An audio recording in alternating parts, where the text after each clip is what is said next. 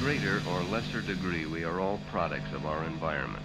What we do, what we think, and how we feel is very largely determined by our past experience.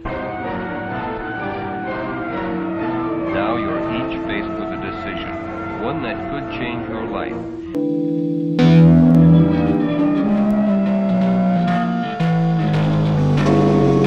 Radio will be important for receiving vital instructions.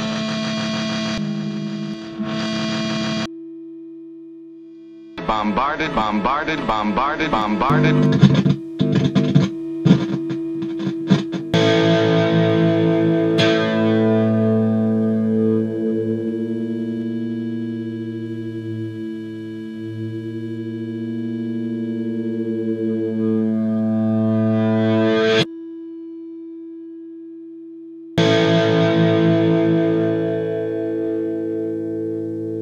Let us face, without panic, the reality of our times.